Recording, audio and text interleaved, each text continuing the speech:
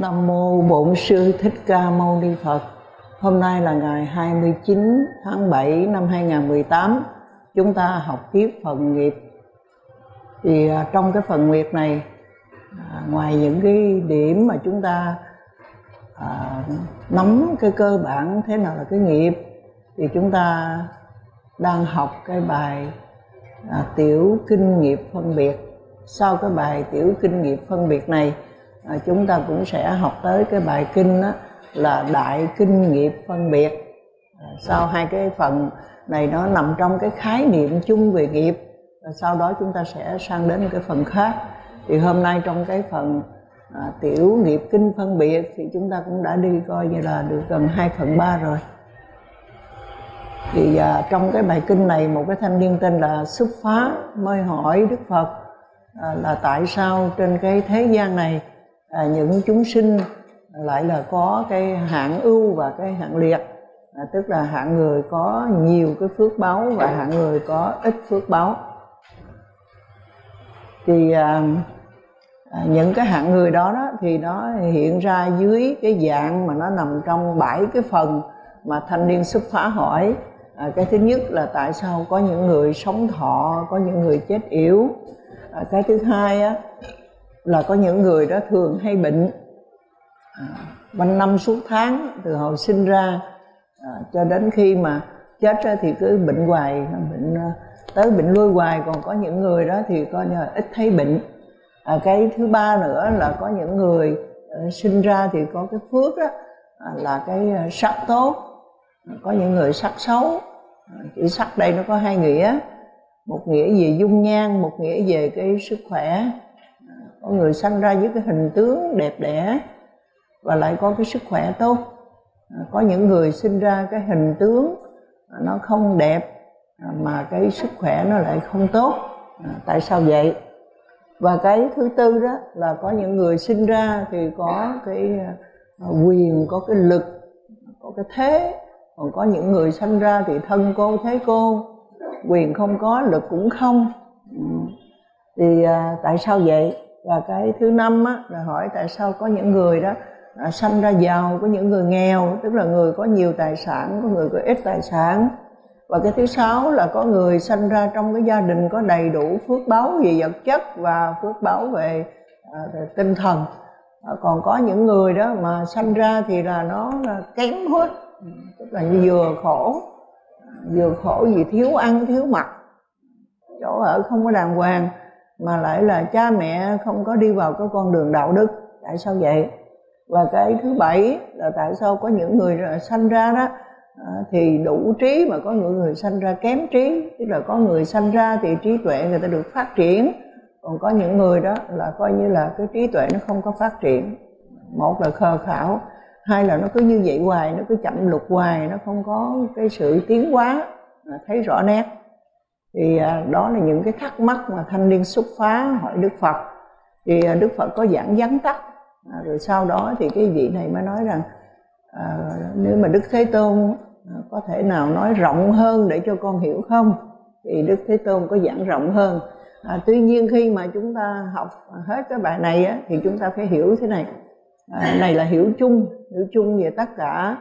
Trong cái tam tạng kinh điển mà chúng ta đọc á, thì trừ cái vi diệu pháp ra đó Ờ, thì trong cái tạng kinh hoặc là trong cái tạng luật á, thì chúng ta phải hiểu thế này. Là do cái nhân nào do cái duyên nào mà đức phật nói cái thời pháp ngắn nói cái thời pháp dài này à, và giảng cho cái đối tượng nào thì nó nằm trong cái đối tượng đó là chánh yếu chứ không phải là đức phật đó là soạn một cái bài pháp để giảng đầy đủ có đầu có à, đuôi có đầy đủ chi tiết không có phải vậy. Thành ra khi chúng ta học thì chúng ta cố gắng nó hiểu thêm một chút chi tiết. À, và khi chúng ta đọc những cái bài kinh khác đó, thì chúng ta thấy à có trường hợp này đức phật lại nói cái nghiệp như thế này. À, không phải là đức phật nói khác đi nhưng mà do cái người này nó dấp phải cái khía cạnh này thì đức phật nói để mở ra. Còn khi mình học đó thì mình sẽ thu lại tất cả những cái điều đó để mình có một cái nhìn chung có một cái nhìn khái quát là coi như giống như một cái sườn một cái vàng à, để mình thấy rõ hơn thôi chứ còn chúng ta đi vào trong bài kinh là mỗi một bài kinh nó mang cái trường hợp cá thể, cá lẻ nó lẻ ra à, cho cái cá thể đó. Và nó chỉ nói một cái phần đó thôi chứ không phải là đức phật không nói đầy đủ cái giáo pháp. Nhưng mà cần thiết cái đoạn nào nói đoạn đó cũng như bây giờ đó cái tiệm thuốc tây này đó là cái thuốc mà đau nhất là nó có đầy đủ nó không có thiếu cái mặt hàng nào hết đó nhưng mà nhức răng thì nó đưa cho cái cái, cái thuốc nhức răng thôi. Nhức đầu mà mà do cái cảm cúm thì nó thuốc khác. Nhức đầu mà do nhức răng kha ra, ra thì khác nhức đầu do đau bụng ra là khác. Nhức đầu do nghĩ bậy nghĩ bậy nhiều quá thì nó khác. Thành ra mỗi một người tới mua đó thì cái người bán thuốc tây này người ta tùy theo bệnh mà người ta đưa ra. Chứ không phải là đưa ra tất cả cho nên là chúng ta học một bài kinh thì chúng ta hiểu đây đây là cái phần này cần thiết cho người này cho nên là đức phật mới nói. Những cái bài khác thì chúng ta bổ sung vô. Này thanh niên có người đàn bà hay người đàn ông tật đố đối với người? Cái cái cái cái cái, cái chỗ chỗ dịch này á à, sư cô nói chỗ dịch này nó có cái chỗ không rõ đó. Đọc là sẽ quý vị sẽ không không có hiểu rõ ràng đâu mà bây giờ cái đoạn kinh này đó là chúng ta phải thêm vô vậy mới hiểu được. Ở đây này thanh niên, có người đàn bà hay đàn ông tật đố với những người hơn mình. Quý vị lấy cái viết chĩa lên mở một đơn ra.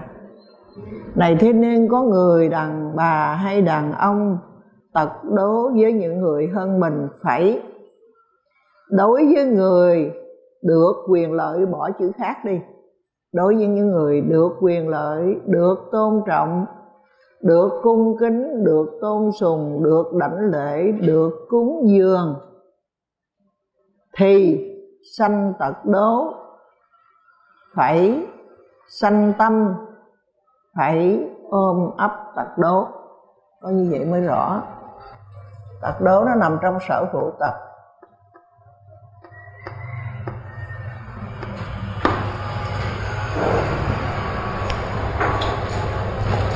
Nằm trong sở hữu tật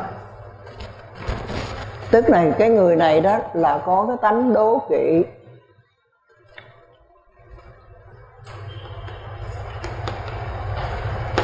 Ganh ghét. Hay mình nói trái lại đó, là cái người mà tật đố không có tâm tùy hỷ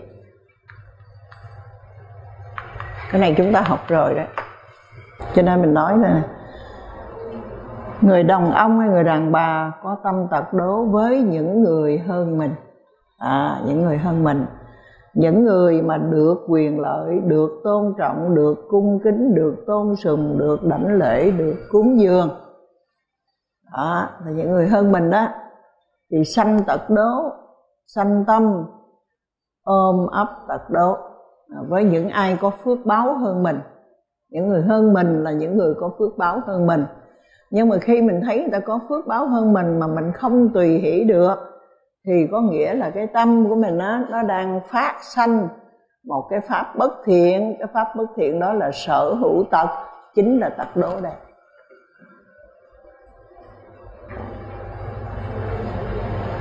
và cái này ở trong thực tế đó mình phải canh chừng nó và mình phải để ý, mình thấy thấy ai giàu hơn mình thấy ai đẹp hơn mình thấy ai giỏi hơn mình thấy ai người khác khen hơn mình á thì mình sẽ coi cái tâm của mình.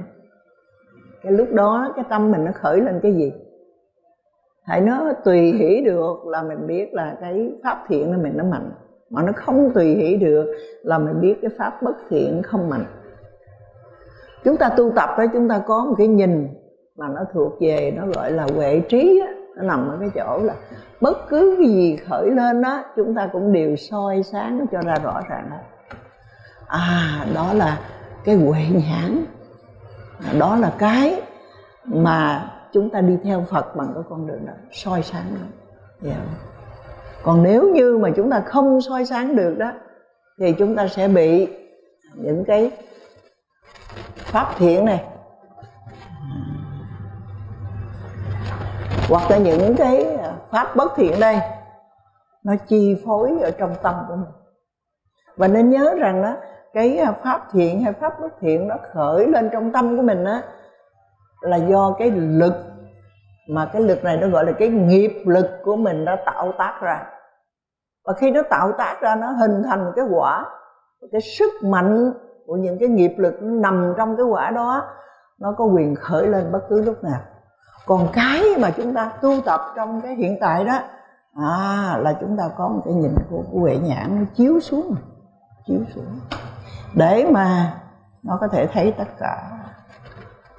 À, đó là cái mà chúng ta rèn luyện. Còn cái đời sống của chúng ta đó cái nghiệp lực nó nằm ở đây là nó luôn luôn trỗi lên. Mình muốn hay không muốn vẫn trỗi lên nếu mình muốn điều thiện thì nó trỗi mạnh lên. Nếu mình muốn điều bất thiện thì nó trỗi lên. Nhưng thông thường, do cái nghiệp lực thiện hoặc nghiệp lực bất thiện này nó luôn luôn nó hoạt động trong cái tâm trí mình và nó khởi lên. Nó khởi lên, nó bất cứ một cái đối tượng nào thuộc về sáu căn, nó khởi lên kích thích thì nó đều nằm ở cái chỗ này hết, đều nằm ở cái chỗ phân đoán này hết. Nó chính là cái hướng thiện hay là hướng bất thiện nó đưa đây để nó đưa đến cái chuyện chúng ta tiếp tục tạo tác đây. Còn cái con đường thoát của chúng ta là khi nó khởi lên như vậy nó dẫn mình đi thì mình thấy được thấy chưa? Cái thiền của à, đức phật đó là như vậy. Thành ra mình phải soi vào.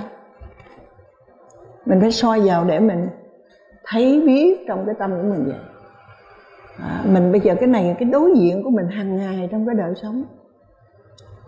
Ờ, cái khuynh hướng mà nó nằm trong tám cái ngọn gió đời đó là cái ngọn gió khen. Thì nó làm cho mình rất là vui vẻ, rất là thích thú. Nhưng mà khi có ai á ờ, chỉ trích mình ờ, nói những cái điều mà nó nó không như là mình nghĩ về mình, thì mình sẽ ra sao? Hoặc là người ta khen nhiều, người khác nhiều quá mà không khen mình à, mà thỉnh thoảng ta đá mình mấy câu. Thì cái lúc đó hỏi cái tâm mình nó khởi lên cái gì? Nếu mình thấy biết mình thoát. Mình không thấy biết mình không thoát mình sẽ bị nó hành hạ. Yeah. thành ra cái tật đó là cái khi mà thấy cái phước báu của người khác thấy sự thành công của người khác thấy người khác được trọng vọng thấy người khác được cung kính thấy người khác được khen ngợi vân vân thì cái tâm của mình nó không tùy hỷ được thì bắt buộc cái tật đó nó khởi sanh chúng ta thấy cái nguyên tắc của nó đi như vậy để thấy rằng mình không thoát đó. Chúng ta học cái này để chúng ta thấy gì? Tất cả các pháp nó đều khởi sanh có điều kiện của nó. Và những cái điều kiện rất là khách quan của nó. Khi mà chúng ta không hiểu, chúng ta bị nó chi phối. Còn khi chúng ta hiểu, nó không chi phối mình được. Nó xuất hiện để chi phối mình, liền mình thấy nó. Nó xuất hiện để chi phối mình, liền mình thấy nó thì mình thoát được một sát na, mình thoát được một sát na. Chứ không không làm cách nào được hết. Bởi vì hai cái dòng nghiệp này, nó cực mạnh từ trong tiền kiếp cho tới bây giờ. Nên cái tật đố này khởi sanh là do cái pháp thiện mà thuộc về tỳ hỷ trong tâm của mình nó yếu. Cho nên là cái tật đố nó khởi lên để nó chỉ huy, để nó sai sử mình thì khi nó chỉ huy sai sử mình mình thấy biết không? Nếu thấy biết thoát không thấy biết không thoát. À, cái hành thiền nó nằm ở chỗ đó. À, nhiều khi mình đi vô trong những cái khóa tu thiền hay ở nhà mình ngồi thiền vậy có khi ngồi hoài nó không thiền được đâu.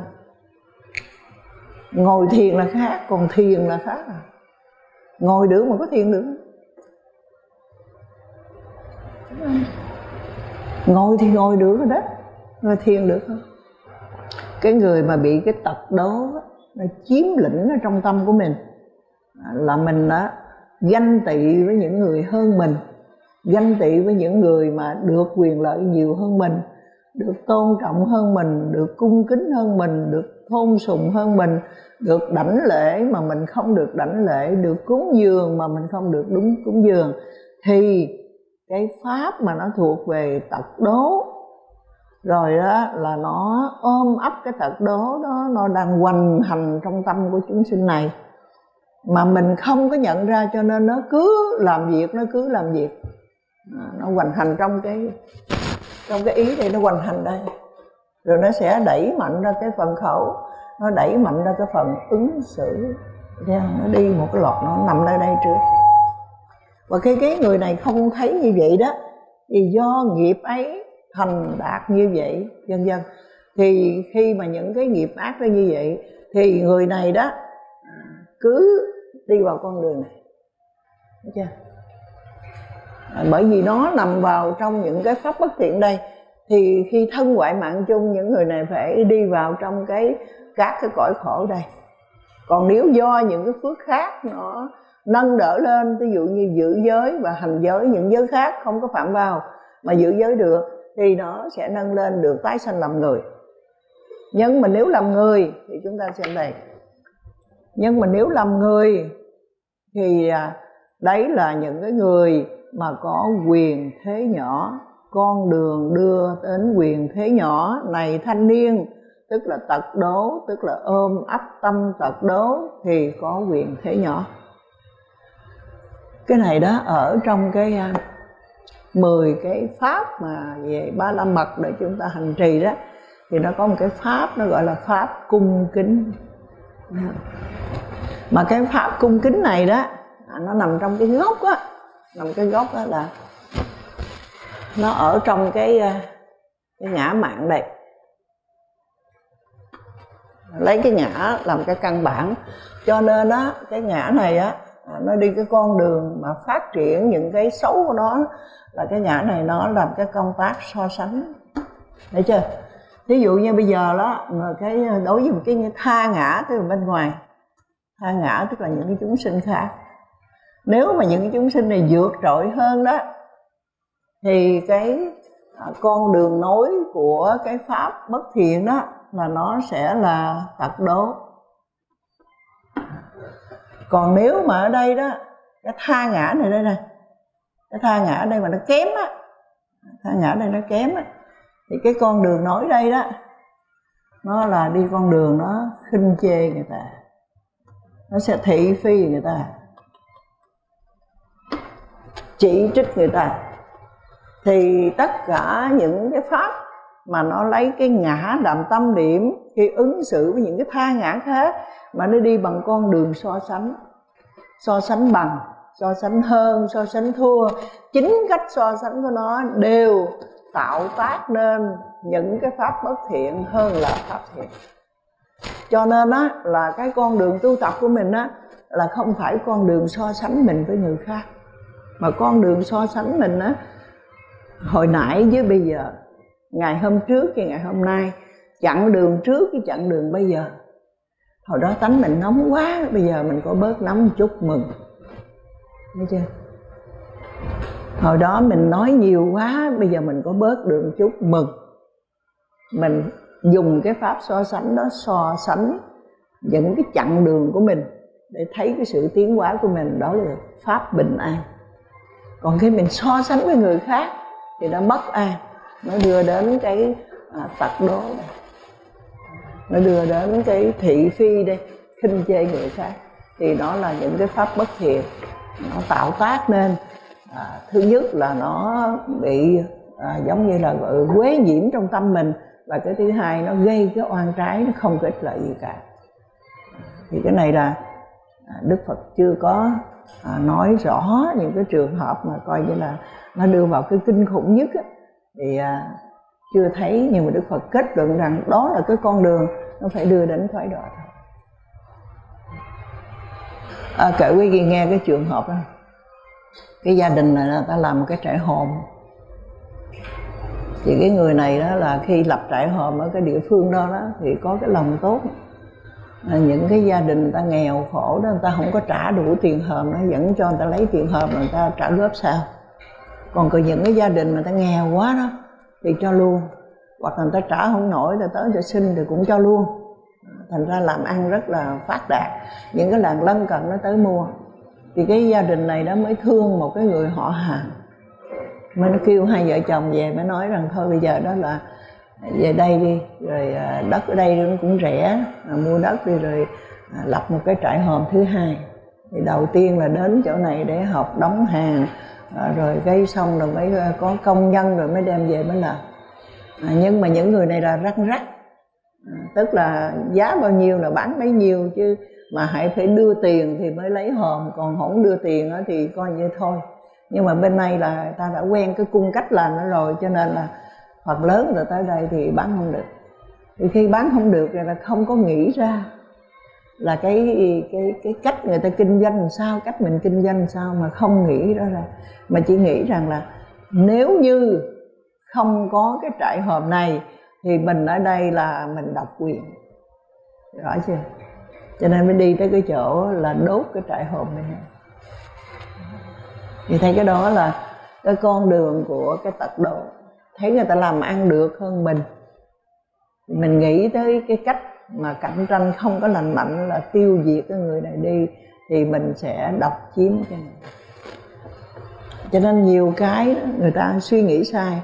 Thì khi mà đốt cái đó, mà có người chết trong đó, thì chúng ta thấy rõ ràng cái thoái đoạn nó như thế.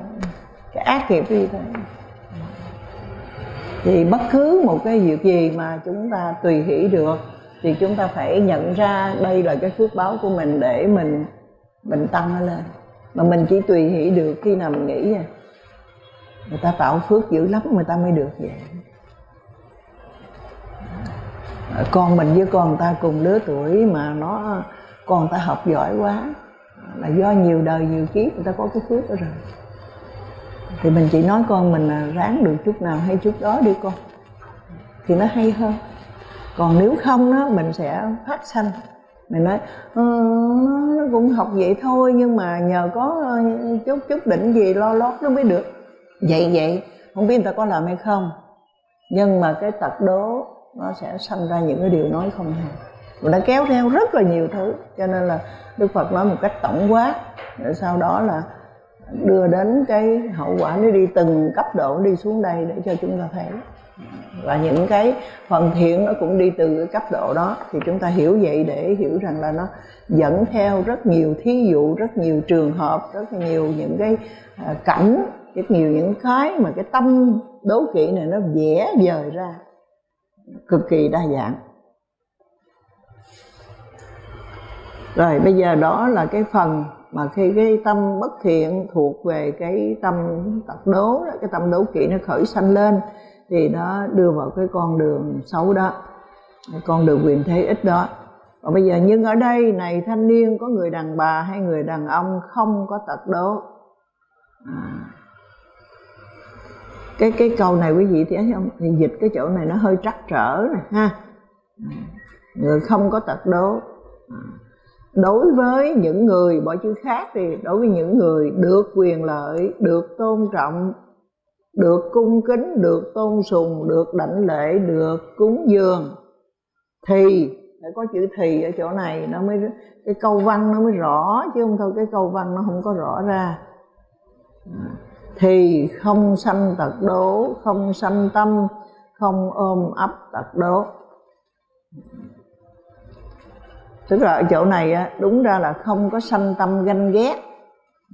Nó phải thêm chút xíu vậy nó mới rõ nhiều khi ngắn quá không rõ. Không có sanh tâm thì không sanh tật đố, không sanh tâm ganh ghét, không ôm ấp tật đố. Ôm ấp tức là khi nó sanh lên rồi thì giữ hoài vậy. Do nghiệp ấy, do cái nghiệp ấy tức là do thành thành tựu được, thành đạt được. Cái mà không tật đố đây tức là cái pháp thiện nó khởi lên đây thì những người này đó thì à, nếu mà chết đó, thì sanh vào cái thiện thú thú là cái cõi tái sanh à, cõi tái sanh tốt còn gọi là nhàn cảnh đó. À, hoặc là nếu sanh ra làm người thì người này có quyền thế lớn. Thật ra là cái người có quyền thế lớn á nó không phải chỉ có một điều kiện đó đâu. Nó không phải chỉ có một điều kiện đó. Mà cái điều kiện của người quyền thế lớn á nó nằm hết trong năm giới. Tức là giữ giới và hành giới. Ví dụ như cái giới thứ nhất là đó là một cái người mà nhân hậu đó, hay cứu giúp người này người kia, hay bố thí, hay nâng đỡ. Thí dụ như khi mà có bất cứ một cái gì xảy ra thì cái người hàng tâm hàng sản này đó là sẵn lòng để mà giúp đỡ cho những người khốn khó. Từ trường hợp cá biệt đến trường hợp chung, thì cái đó cũng là một cái yếu tố thuộc về cái quyền thế lớn. Nói chung gọn lại thì nó nằm trong cái năm giới, giữ năm giới và hành năm giới đó. Cộng thêm với cái này nữa. Tức là tất cả những cái pháp bất thiện chúng ta đều hạ thấp xuống tới đa nhưng mà cái hành giới nó đều tăng cao lên hết, thì những người đó mới là những người có quyền thế lớn.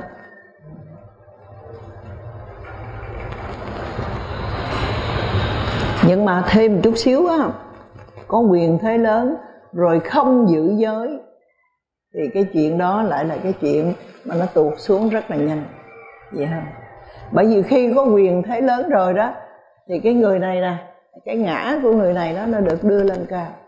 Thì cái người này mục hạ vô nhân, tức là coi thiên hạ không có ra gì hết, và nghĩ mình có cái quyền thế trong tay, mình tự tung tự tác muốn làm cái gì cũng được hết. Và tất cả những người khác phải cam chịu, thì cái người này đó đang trên con đường đó quỷ hoại cái phước báo của mình để đi vào con đường thoái độ. À chứ không phải quyền thế lớn á, được cái quyền thế lớn này rồi, thì cái quyền thế lớn này vĩnh viễn, không có gì vĩnh viễn. Tất cả nó phải tùy thuộc vào cái phước người ta có làm nữa hay không thì nó mới tăng lên hoặc nó duy trì được như vậy. Là do nó nuôi dưỡng bằng những cái gì mà mình đã tạo ra nó một cách chân chính. Còn khi mình có trong tay rồi mà năm giới không giữ mà năm giới không hành thì cái con đường nó thấy rồi à, chúng ta căn cứ vào đấy.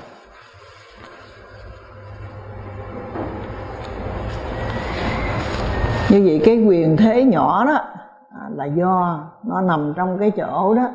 À, là chúng ta đây đó là có cái có cái tật đố hay là có cái tùy hỷ lớn nhỏ nó nằm trong chỗ đó.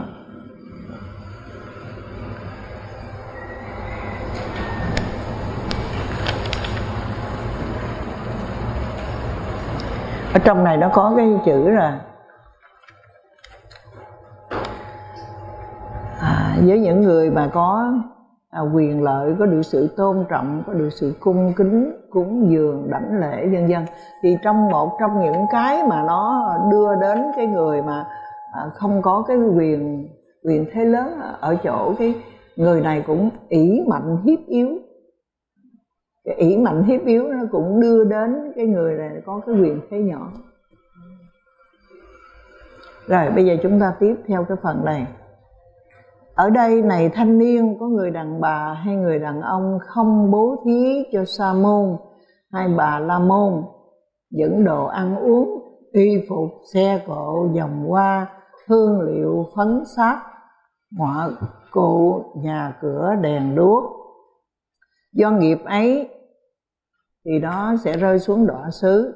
Nếu mà tái sanh làm người thì người có tài sản nhỏ. Con đường ấy đưa đến tài sản nhỏ ngõ cụ, nhà cửa, đèn đuốc. Cái độ này rút gọn để chúng ta nói nè. Cái chỗ này đó, cái từ này nó chưa có sát lắm á. Ở đây này thanh niên có người đàn bà hay người đàn ông không cúng dường cho sa môn hay bà la môn. Đấy dùng chữ cúng dường nó đúng hơn là cái chữ bố thí. À, cúng dường đồ ăn uống y phục xe cộ dòng hoa hương liệu phấn sót ngõ cụ nhà cửa đèn đuốc. Ở đây quý vị có thắc mắc tại sao mà phải cúng dường dòng hoa rồi hương liệu rồi phấn sót nhà cửa thì không tính rồi liêu cốc thì không tính rồi tại sao có hương liệu có phấn sáp?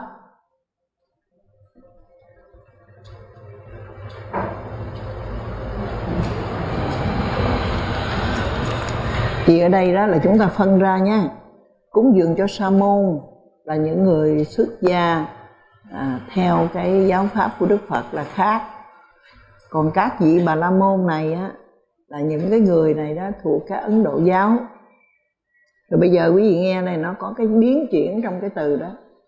Là cái ấn độ giáo khác, còn cái phật giáo là khác.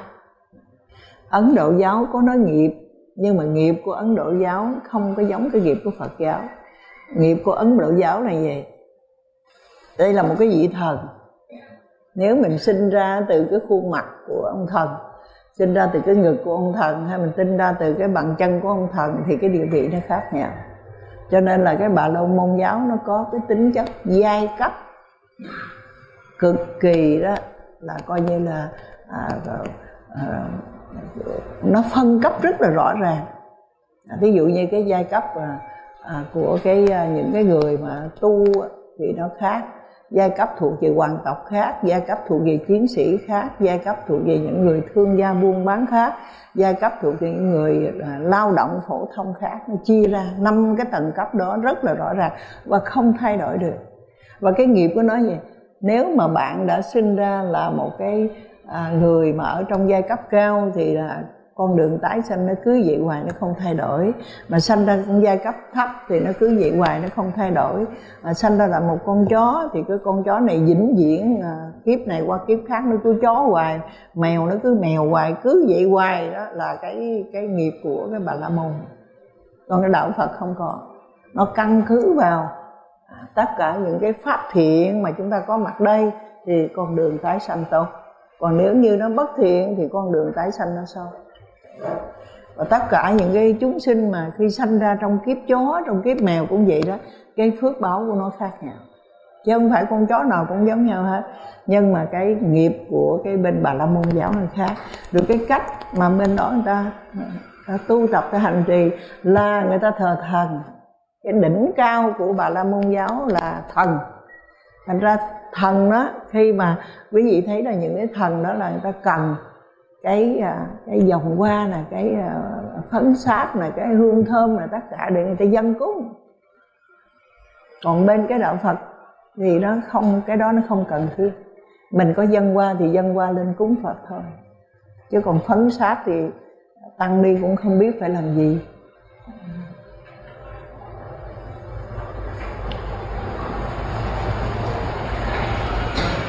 Sẵn đây kể chuyện vui cho quý vị nghe.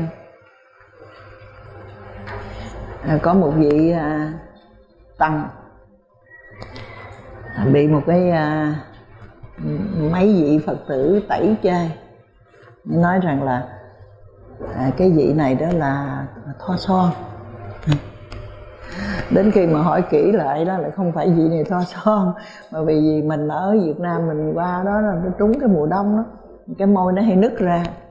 Thì bên đó nó nó bán những cái những cái thỏi mà nó nó giống như là gọi là gì vaseline đó để thoa cho nó ấy.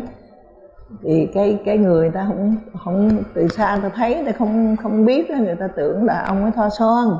Thì sư cô mới giải thích sư cô mới nói là nếu như cái người này có ý thoa son đó là người ta không có đứng ở ngoài để người ta thoa son.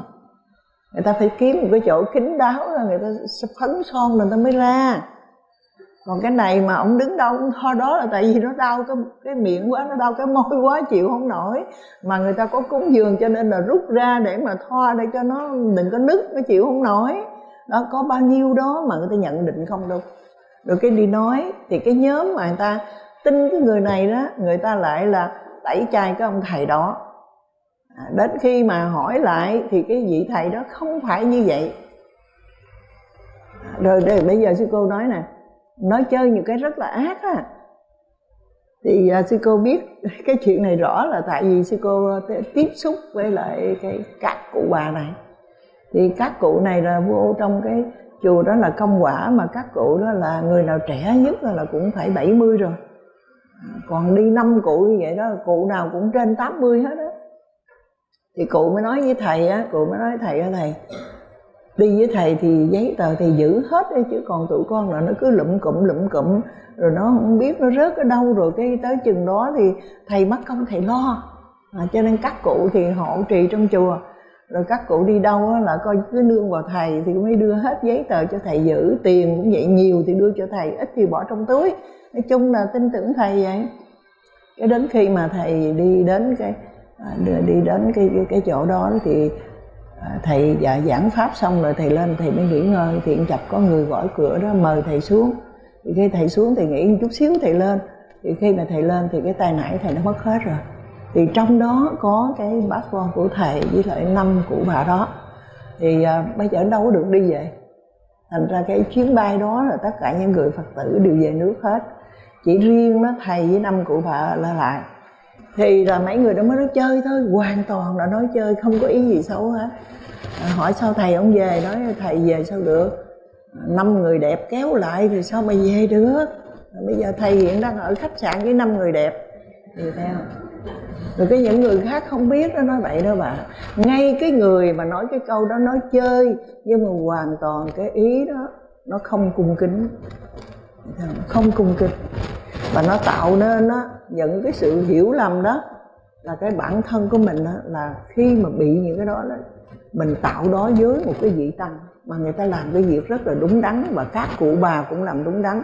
Mà mình nói chơi như thế đó là mình bị cái quả của nó lâu dài đó về sau bất cứ mình làm cái điều gì đúng đắn đó người ta cũng đều là làm cho xóa nhòa đã đó là nói chơi. Nói chơi kinh khủng cái gì đó cái gì theo biến năm cụ bà đó thành ra là năm người đẹp thấy chưa? Và biến một cái tai nạn người ta nó thành ra một cái trò đùa để trong cái đó nó có những cái ý không, rất là dung tục ở trong chỗ đó kinh khủng lắm. Đừng đừng có làm gì mình tránh đó mình à, mình nói à, chơi, nói đùa đó đối với cái cái pháp thế gian thì mình không nói gì nói. Bởi vì bản chất của cái pháp đó là phóng vật mà khi mình gặp một cái người xuất gia đó mà mình nói cái đó là cái, cái tâm mình nó bị tổn phước dữ lắm. Không có nên nói đùa. Không có nên nói đùa với lại cái người xuất gia. Sư cô quen những người phật tử đó mà con của họ nói đùa đó họ không có biết. Đến đổi mà cái bà mẹ đó phải năn nỉ mấy đứa con tụi con muốn nói cái gì? Tụi con nói rõ ra chứ tụi con nói nửa này nửa kia đó má không có biết cái phước của cái bà mẹ là nhiều đời nhiều kiếp là người tu. Nên người ta không có biết nói chơi đâu. Người ta không biết nói đùa đâu. Mà bản chất của cái nói chơi, nói đùa là một cái dạng của lộng ngôn. Và cái dạng đó nó phát sinh từ cái tâm phóng vật. Nó không phải phát sinh từ tập thiện nó gây hậu quả.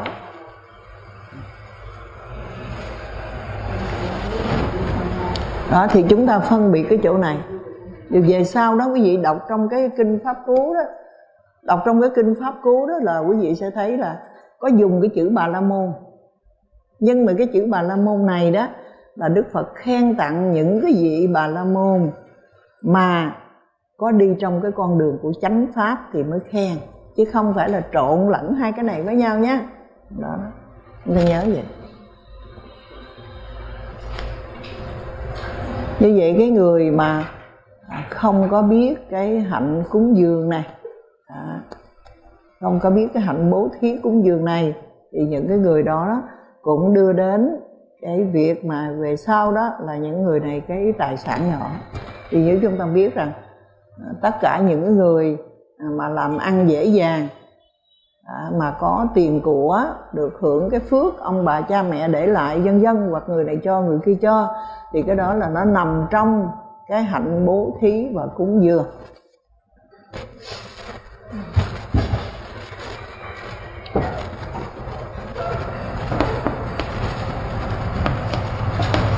Giờ chúng ta nói chữ bố thí để mình dùng cho rõ và chữ cúng dường. Bố thí tức là mình san sẻ đem cho là có cái ý san sẻ. Vì người ta thiếu mà mình có dư hoặc mình có nhiều hơn người ta một chút thì đó mình san sẻ ra. À, bằng cái tình. San sẻ trong cái tình thương. Trong cái tình người đây. Và cái này nó gọi là cái lòng nhân. Trong cái chữ nhân nó viết thế này. Chữ nhân bên này có cái chữ nhân đứng là con người chữ nhị là hai.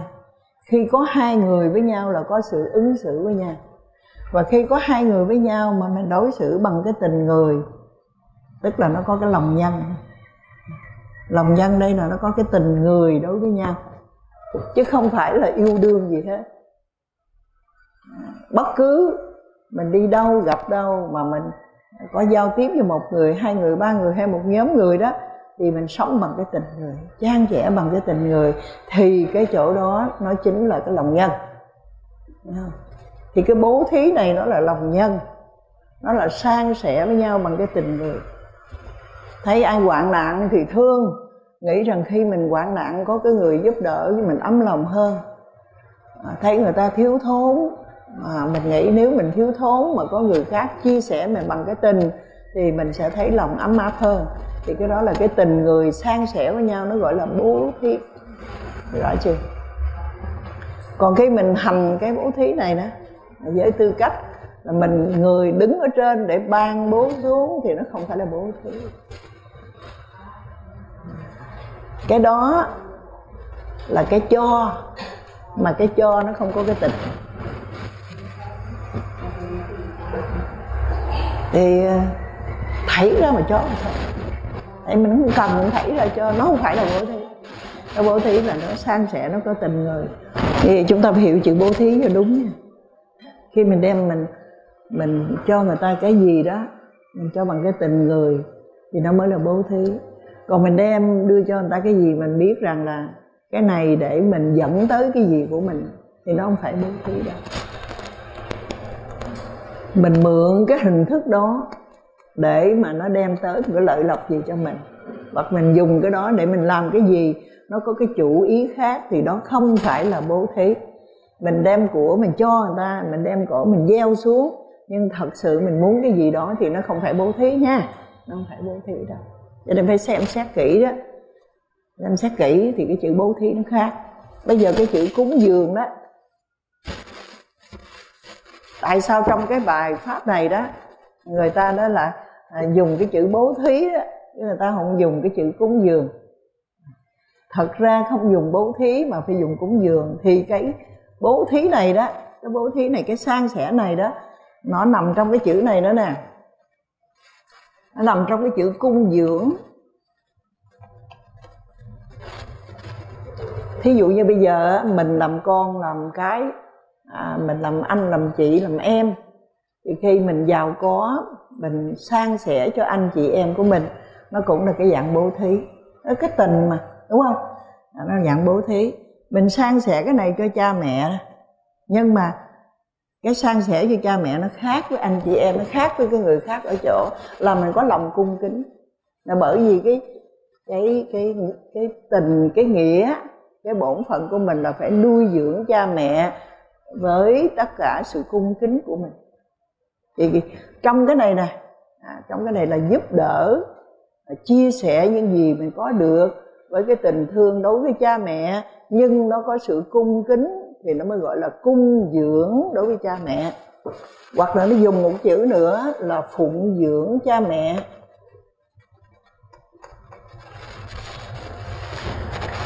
Cung dưỡng khác mà phụng dưỡng khác nha.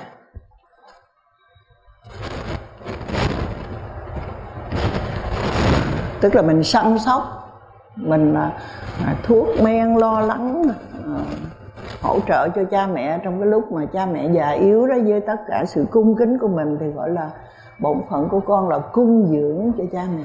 Cái hiếu là cung dưỡng, mà hiếu hơn nữa là phụng dưỡng. Chữ phụng này nó nằm trong cái câu đó, cung kính không bằng phụng mệnh. Tức là cung kính không chưa đủ không bằng á, là cái lời gì của cha mẹ nói ra thì đều là răm rắp tuân theo vậy hết. Thì gọi là cung kính không bằng phụng mệnh. Bây giờ mình nói trường hợp thông thường nha. Trường hợp thông thường thì, thì cha mẹ nói thì mình lắng nghe. Còn mình đồng ý hay không đồng ý tính sao? Bây giờ đó là cha mẹ bình thường. Bây giờ cha mẹ bệnh rồi lẫn lộn rồi. Mới vừa cho ăn lau miệng xong ai lại hỏi chị ăn gì chưa? Có ai cho tôi ăn đâu. Thì cái đó là nó không bình thường. Vậy mình à, làm sao đây? Cãi lại hay là sao? À, thấy không? Mà phụng mệnh thì phụng mệnh làm sao? Phụng mệnh là cái lời mẹ nói ra vậy là mình phải theo thôi chứ không có cãi. Thì chúng ta hiểu tại sao mà cái người này lại nói vậy nói một cách gọn gàng đó người này nó bị tổn phước rồi. Tới đây là cái phước nó hết rồi. Cho nên là mình có cái phước á, là con cái của mình nó chăm sóc nó lo lắng cho mình. Nhưng mình nói ngược lại ha chuyện đó nếu mình một người bình thường mình dám làm không? Hay mình có thể nào mà cái tâm mình nó nó nó nó u tối đến độ mà mình không nhận ra được đó là cái người này tốt với mình chứ đừng nói chỉ con mình không? Bà mẹ nào cũng rất là cảm động và rất là tự hào. Là bởi vì con mình nó nghĩ đến mình, nó thương của mình, nó chăm sóc mình, nó nói một cái lời thân thương đối với mình. Bà mẹ nào cũng vậy trăm bà mẹ là giống y vậy hết. Nhưng mà tại sao trường hợp này đó là nó lại ngược lại? Bởi vì nó bệnh rồi. Bởi vì thần hồn nát thần tính rồi. Là tại sao nói cái câu đó?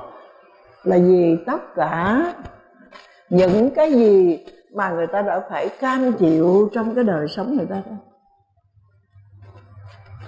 Để cho cái gia đình nó được êm ấm để đi qua đó. Và người ta nén lại để mà khổ đau của một mình mình đó. Thì bây giờ tới cái giờ phút cuối cuộc đời đó, nó mới khỏi lên.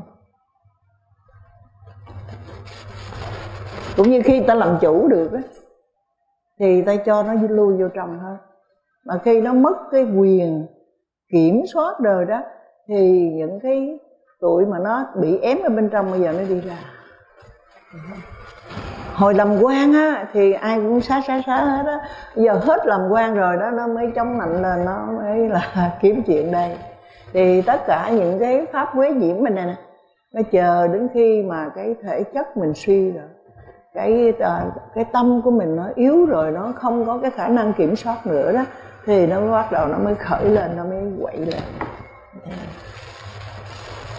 Như vậy khi mà những cái tật bệnh về tâm nó khởi sanh lên, thì chúng ta hiểu ngay rằng đó là cái người thân của chúng ta sắp ra đi rồi rồi. Cái phước nó hết rồi đó. Mà cái này đó, chúng ta hiểu mới thương, mới phụng mệnh được. Không hiểu, không thương, không phụng mệnh được. Mà chứ hỏi tại sao? Tại sao lại nói như vậy? Tại sao lại đối xử như vậy? Hoặc là ngồi đó mà lôi các con của mình ra đó thì không thấy điểm tốt mà nói toàn cái điểm xấu nó không? Mà không phải muốn nói xấu con, cũng không phải muốn bôi cho trét trấu con, hoàn toàn không phải như vậy. Nhưng mà do đó những cái pháp quyết nhiễm là bên trong nó mới trồi lên. Và khi nó trồi lên á mà nó thấy cái mặt người nào thì nó đặt tên cho cái người đó. Quý vị hiểu chưa? À, nó, khi mà nó giống như nó bùng nổ lên lại không đúng lúc, người ta nói giận chó mà đánh mèo. Khi nó khởi lên những cái pháp quế nhiệm đó, thì gặp ai nó chụp vô rồi. và mình hiểu tại sao mà cái người mẹ mình bị vậy, tại sao người cha mình bị vậy. Bởi vì tất cả cũng vì cái gia đình này đây chịu cái cái áp lực bên chồng chịu áp lực bên vợ chịu áp lực của xã hội chịu áp lực của con à, con cơm áo chịu áp lực nhiều thứ. Kể cả chịu áp lực của người hôn phối của mình nhưng nén xuống để cho nó yên nhà để cho nó tạm ổn đi mà sống mà để cho con cái nó nên người. Thì nó làm thành cái bệnh triền miên ở trong tâm này bây giờ đến khi nó suy rồi thì nó là bùng lên. Và khi nó bùng lên đó, thì cái lòng oán của người ta, cái lòng trách của người ta, nó chụp ai, nó để cái mũ vô cái người đó. Nó không có phân biệt ai được đâu, bởi vì nó lẫn lộn rồi bởi vì hiểu không? Cho nên khi mình hiểu được cái chỗ đó, mình thương. Cha mình, mẹ mình cũng chỉ vì lo cho con, cũng chỉ vì muốn bảo vệ cái sự bình yên của gia đình á mà gánh không biết bao nhiêu phiền não để bây giờ là nó, giờ cuối cuộc đời đó là nó không có còn cái gì sáng suốt nữa hết á. Để mà quỷ cái tình cảm cuối cùng đối với các con hiếu hạnh của mình mà ra đi. Có đau lòng không? Tất cả chúng ta đây là người bình thường đó. Chúng ta trân trọng cái tình cảm của người khác đối với mình ngay cả mình làm xấu mình cũng muốn che giấu đi để cho con mình để cho người xung quanh nó đừng có nghĩ xấu về mình. Đúng không? Con sáu mà đi ăn đêm á, đậu phải cành mềm lộn cổ xuống ao. Ông ơi ông vớt tôi nào ông có lòng nào xin hãy sáu măng? Có sáu thì sáu nước trong đừng sáu nước đục đau lòng cò con. Vậy thấy chưa? Có tội, chấp nhận ông xử tội, nhưng đừng có rêu rao cái này ra, tội cho con của tôi lắm. Vì thấy rõ chưa? Nhưng mà tại sao lại làm cái chuyện đó? Vì nó bệnh quá rồi nó tổn phước, nó hết phước rồi. Vậy mình phụng mạng ở chỗ nào? Phụng mạng ở chỗ nào mà má vừa nói là nó có cho ăn gì đâu sáng mơ gì nó không cho ăn gì hết trọi hết trơn, nhịn đói ngày này qua ngày khác. Mình phụng mạng bằng cách mình lợi mình vuốt má ơi, con xin lỗi, má con quên. Phải mơ giờ con lung tung, con quên. Bây giờ mà muốn ăn gì con lấy cho má chắc chắn là không ăn được bà nói là nó có thay quần áo cho tôi đâu. Con xin lỗi má để con thay quần áo cho má. Cái gì nó cũng mừng tại vì cái lúc đó đó, cái tâm người ta bị u tối mà. Nếu bây giờ mình phản đối đó ha, thì nó sẽ tăng lên. Cho nên mình sai chứ không phải má sai vì mình thay quần áo, mình lau mặt, đòi ăn thì mình cho ăn. Cứ vậy thôi. Thì cái đó phụng mạng để chi? Để mình biết rằng đây là cái giờ sắp ra đi rồi. Để cho nên người này nó yên ổn, nó không bị, nó không bị trong trên trong trên nữa. Để cho yên. Tất cả những gì mình phán quyết ra đều đúng hết. Yên, cho nó yên. Nó không gây rối nữa. Thì cái đó là, gọi là, không phải chỉ cung dưỡng mà nó là phụng dưỡng. Chị thấy chưa? Cơm ăn áo mặc chưa đủ đâu. Thuốc men săn sóc chưa đủ đâu. Mà còn lại cho cái tâm của cha mẹ mình được bình an.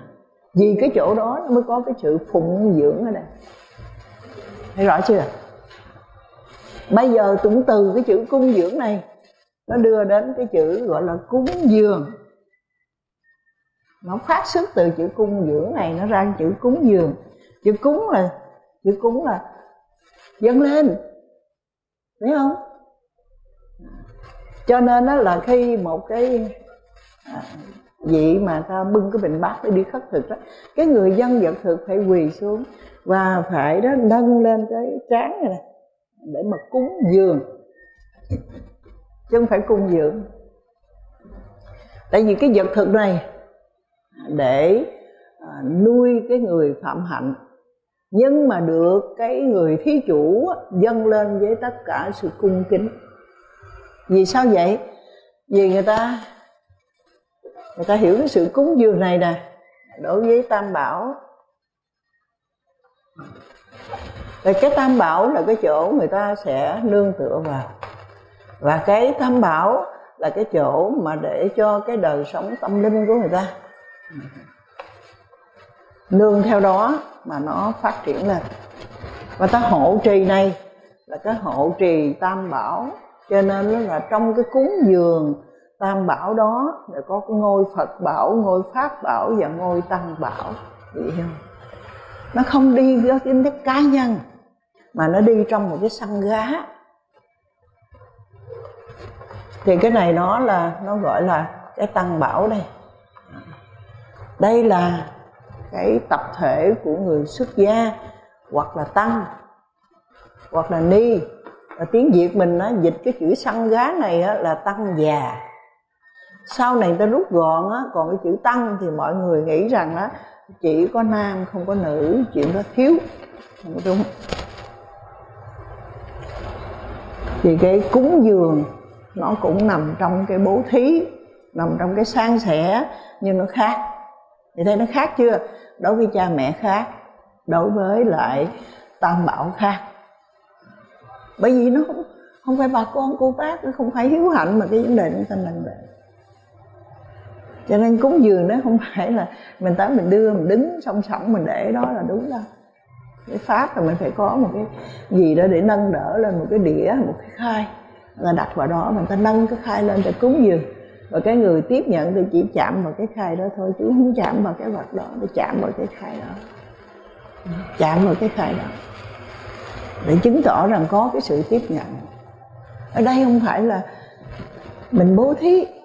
Hoàn toàn không phải là bố thí, nhưng bố thí nó có kèm theo những cái, thành ra cái từ ngữ của nó, dịch cái chỗ này bố thí, nói đúng nhưng chưa đúng hẳn. Để dịch là cúng dường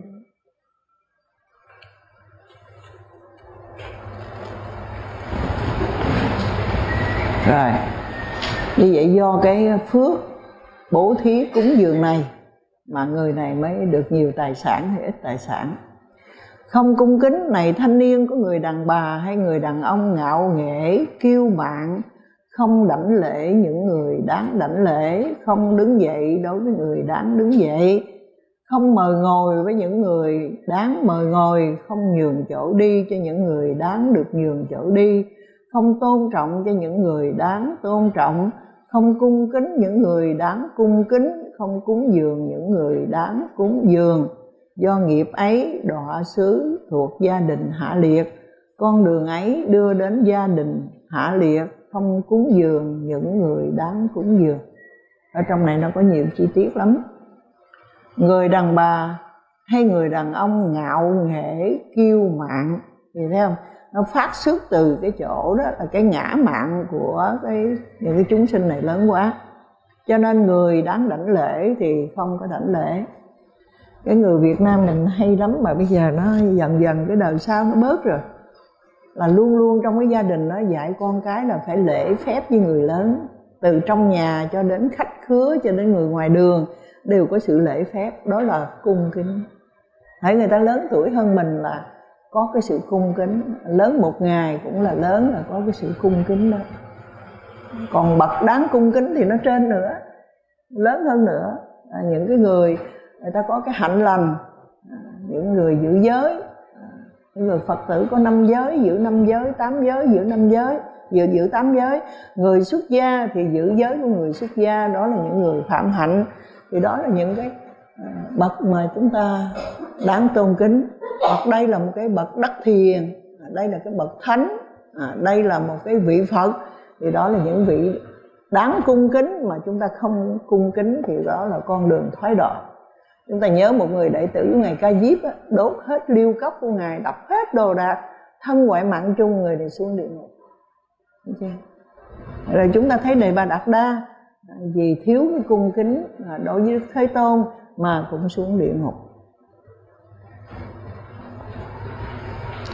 Không đứng dậy đối với người đáng đứng dậy không mời ngồi đối với người đáng mời ngồi không nhường chỗ cho những người đáng được nhường chỗ. Không tôn trọng những người đáng tôn trọng không cung kính những người đáng cung kính vân vân. À, chúng ta đi à, cái xe bus ở à, bên à, tích lan đó. Thì trên cái xe bus đó nó có hai cái giải hai bên à, một cái giải đó là để cho những người lớn tuổi những người khuyết tật những người phụ nữ có con nhỏ mang thai. Còn một bên đó là để cho à, những người xuất gia những người tu thì ngồi một bên thì cái xã hội nó cũng đã có mà bên Việt Nam mình thì được một cái là cũng dành cho người tàn tật người già yếu người mang thai vân vân thì cái đó là một cái hạnh lành đó là một cái phước báo. Ừ còn nếu mà cái người không làm cái điều này được thì cái người đó rất là ngã mạn thí dụ như những người thanh niên mà đi lên cái xe bếp mà cái chỗ để cho những cái người đó người ta ngồi đó, mình nhảy vô mình đó, mình ngồi mặc dù không có ai, nhưng mình đã sai phạm. Nhiều khi người ta lên, ta thấy ngồi, ta đâu có dám. Bây giờ cái người đó có thai cũng không dám, mà người đó có mệt mỏi, chóng mặt cũng không dám, mà có bồng con cũng không dám, vì nó ngồi vô đó là mình biết nó là ai rồi. Thấy không? Nếu một cái người được giáo dục đàng hoàng được hiểu biết thà đứng chứ không dám ngồi vô chỗ đó. Nhưng mà ta đã ngồi rồi mà giờ mình kêu người ta là có vấn đề. Hoặc là quý vị thấy không? Cái à, cái thời của vua tự đức á, là khi cái lưới mà bắt con cá là phải có quy định con cá nhỏ là không được bắt. Hai nữa tới cái mùa mà những cái con cá nó có có trứng đó thì không được bắt còn bây giờ thì là không có cá lớn không có cá nhỏ mà không có cá có trứng hay không cá có trứng là nó diệt toàn bộ. Để cái à, gì đó cái, chích điện xuống là không còn cái con gì hết. Rồi nước thải công nghiệp từ bên trong ra đen ngòm. Thì những cái đó là diệt hết loài thủy tộc. Sư cô có đến cái chỗ à, công nghệ môi sinh. Là có một cái trung tâm về công nghệ môi sinh thì à, À, rất là hay ở chỗ là tất cả những cái nước thải công nghiệp ra đen đó, thì nó có một cái loại vi sinh nó thả xuống. Thì những cái con vi sinh đó nó sẽ ăn hết những cái chất đen đó, thì cái nước trong nó quay trở về cái công nghiệp. Nhưng nó phải có cái tốn phí. Thì người ta không muốn tốn phí, cho nên người ta thải ra biển, người ta thải ra sông. Thì cái lợi đó nó rất là nhỏ, nhưng mà cái ác nghiệp thì nó trả không biết bao nhiêu hết, bởi vì nó giết hết các loài thủy tộc chưa kể là nó sanh bệnh con gì uống nước vô con bò con trâu con heo gì uống nước vô nó bốc hơi lên thì nó làm thành cái bệnh tật toàn bộ. Thì cái lợi nhuận đó nó quá nhỏ so với cái ác nghiệp cực kỳ lớn cũng như khi người ta đăng một cái tờ bướm phá thai đó là phá thai mà trong vòng một tháng tới hai tháng tuổi thì 800 ngàn à, 3 tháng tuổi thì một triệu. 4 tháng tuổi thì 2 triệu rồi lên nữa có thể đi tới 5 10 triệu. Con số quá nhỏ nhưng mà ác nghiệp cực kỳ lớn. Đấy. vừa rồi thì quý vị thấy hay cái tin không? Vợ 9 tháng vợ mang thai 9 tháng. Mà chồng chém á, mấy nhát chém luôn trong bụng này mà cái người đàn bà đó rất là đáng thương đó đóng cái cửa nhà tắm để nó không chém nữa mới lôi cái đứa nhỏ từ trong dạ con thì cái cái ác nghiệp mà sát sanh này đó nó phải nói là cực kỳ độc ác và cái quả của nó trổ không thể nào kể xiết được hết như thế trong cái, cái pháp phật đó nói thế. Mà đối với cái người phụ nữ mang thai mà nó là con của mình nó là vợ của mình mà chém cho đến cái mức độ thì quý vị thấy người ta tâm tối và người ta tàn ác tới chừng này nó phạm cái gì thế không phạm cái giới. Thứ nhất là giới sắc sanh ha, mà nó phạm luôn cái giới này. Nó phạm nhiều thứ lắm. Cho nên tại sao mà con người ta sanh ra nó ở đời đó ưu liệt khác nhau? Nó khác nhau nhiều lắm. Khác nhau ở chỗ là thiện nghiệp nhiều hay ác nghiệp nhiều, nó khác nhau chỗ đó. Làm sao nó không khác được? Ngay chị em ruột song sanh nó vẫn khác nhau mà. Bởi vì cái biệt nghiệp của mỗi người nó khác nhau không thể nào nó giống nhau được hết người ta có những cái ác khác nhau mà. Không thể tưởng được. Rồi, chúng ta tiếp theo. Nó tất cả này là chúng ta biết rồi, chỉ là chúng ta đọc cái này để chúng ta thấu rõ hơn thôi. Nhưng ở đây này, thanh niên có người đàn bà hay người đàn ông không có ngạo nghễ. Quá mạng, đảnh lễ những người đáng đảnh lễ, cúng dường những người đáng cúng dường. Do nghiệp ấy thiện thú và gia đình cao quý con đường ấy đưa đến gia đình cao quý cúng dường những người đáng cúng dường vân vân. Thì tức là nếu như à, mình không có phạm vào cái à, việc xấu này mà chúng ta ngược lại làm cái điều lành điều tốt thì đây là cái phước nó sẽ trổ xanh à, cho cái người này nè à, được tái sanh vào trong một cái gia đình cao quý. Nếu mà cái người này biết khiêm cung cái người này biết đảnh lễ những người đáng đảnh lễ. Thì người này đã được sanh vào trong cái gia đình cao quý. Thật ra nó không phải chỉ có một cái này đâu. Không phải chỉ có một cái này đâu. Mà nhiều đời nhiều kiếp á chúng ta sanh ra đó chúng ta là những người con hiếu hạnh. Chúng ta là những người mà ở trong cái uh, gia đình nào ở trong cái quyến thuộc nào đó thì người ta cũng cần thiết đến mình hết người ta đều quý mến mình hết. Thì cái người đó nó mới được cái phước sanh ra trong cái gia đình cao quý. Chứ không phải chỉ duy có bao nhiêu đây thôi. Chúng ta làm cái gì chúng ta nhớ đến cứ nó nằm trong cái năm giới này mặc dù người ta chỉ nói có một phần thôi nhưng mà chúng ta hiểu rằng nó phải nằm trong năm giới. Nó không có đi ra cái năm giới này được à, thì như vậy cái người này mà được như vậy đó là do nhiều đời nhiều kiếp đó người ta sanh ra ở trong bất cứ một cái gia đình nào dẫu cái gia đình đó là thuộc vào loài súc sanh thì đó là một cái con vật mà trong cái loài của nó cần đến nó. À, trong cái loài của nó quý nó. Thì cái phước báo này đó à, nó, nó đi trong nhiều kiếp đó thì nó mới được như vậy chứ không phải chỉ có một cái mà thôi.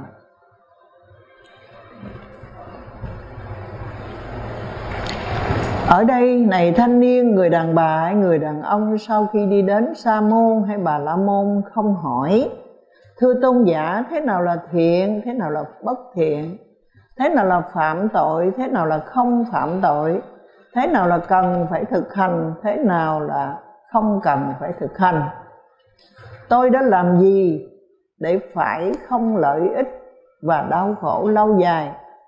Hay tôi đã làm gì để được lợi ích và an lạc lâu dài? Do nghiệp ấy đọa xứ trí tuệ yếu kém. Con đường ấy đưa đến trí tuệ yếu kém, lợi ích, hạnh phúc lâu dài.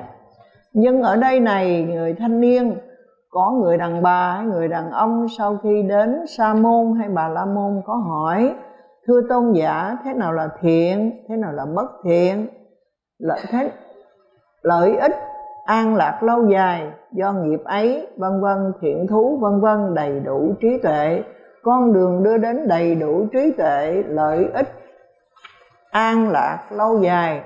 Ở đây, này thanh niên, con đường, xin lỗi, tới tới đây chúng ta ngừng lại nha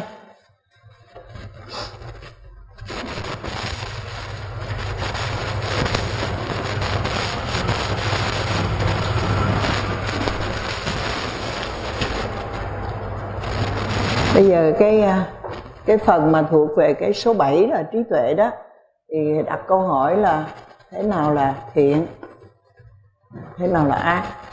Đó là câu hỏi thiện hay bất thiện? À, cái thứ hai nữa là cái nào là phạm tội? Cái nào là không phạm tội?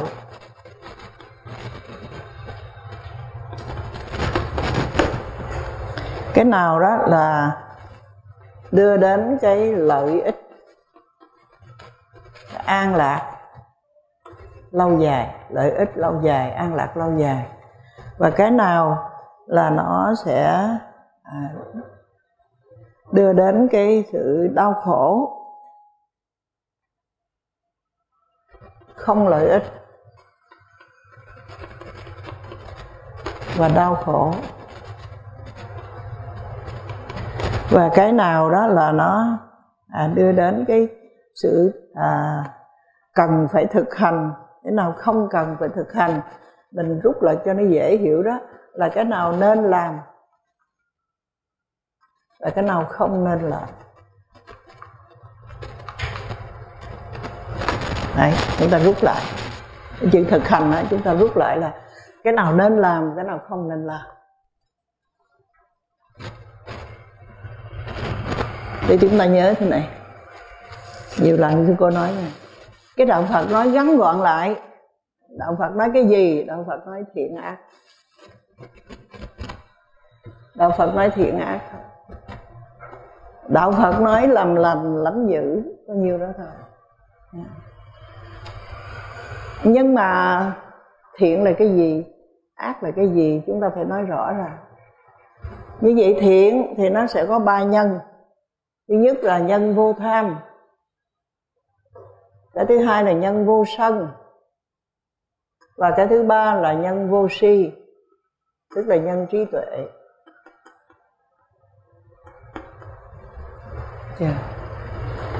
tức là nó không có tham này nó không có sân nó không có si nó có trí tuệ đây mà trí tuệ thì cũng đi trong pháp thiện hết.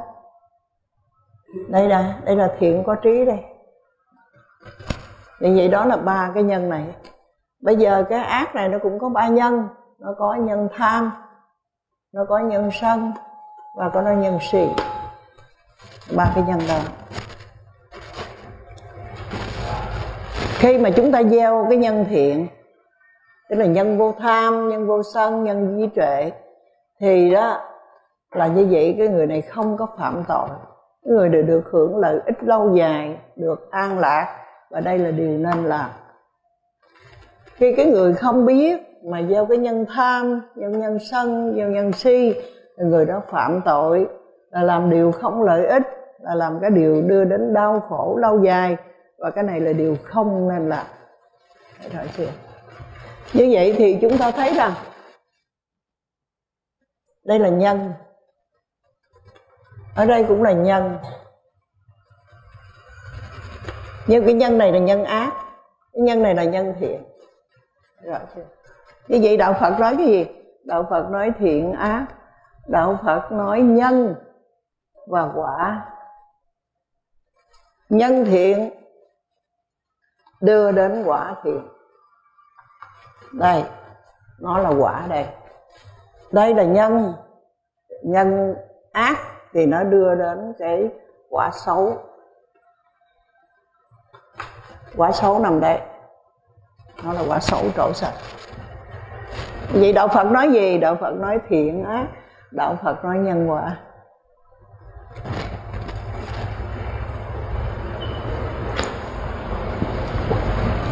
Và đây là cái điều nói thêm chút xíu nữa. Tất cả các tôn giáo đều hướng người ta tới cái thiện này.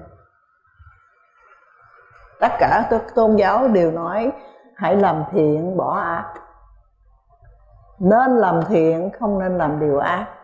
Và nói những cái lợi ích của cái thiện và cái uh, hậu quả của cái bất thiện giống nhau thôi. Tất cả tôn giáo đều như thế.